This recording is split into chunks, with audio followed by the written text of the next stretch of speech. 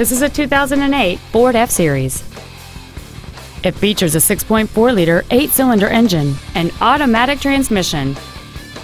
Features include a limited slip differential, 19-inch wheels, front and rear reading lights, a trailer hitch receiver, running boards, a passenger side vanity mirror, 12-volt power outlets, an anti-lock braking system, a passenger side airbag, and a turbocharger. Contact us today to arrange your test drive. Andy Mohr Ford is dedicated to doing everything possible to ensure that the experience you have selecting your next vehicle is as pleasant as possible. We are located at 2713 East Main in Plainfield.